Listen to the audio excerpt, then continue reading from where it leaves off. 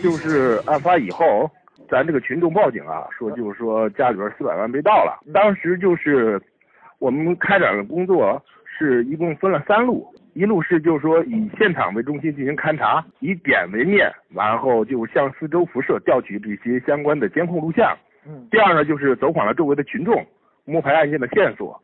第三路呢，就是对市里边所有的这些旅馆啊、网吧呀、这些场所进行秘密的清查，对这些线索进行逐一的进行筛选跟梳理，最后确定就是说一个悬挂 GA 牌照的这个车，它挂的是个套牌。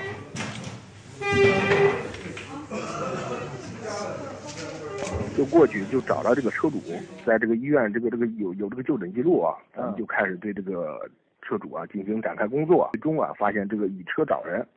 找到这个嫌疑人，然后后来找这个嫌疑人确定身份以后，发现这两个人已经潜逃了，辗转多地去抓捕这两个嫌疑人。是十月二十八号吧，呃，将这个最后一个嫌疑人抓住，把这个赃款也是所有都起货回来。呃，起货的这些赃款啊，包括是来也好，走也好，都是民警进行押运的。受害人对是咱们就是邯郸市公安局啊，也是特别的感谢。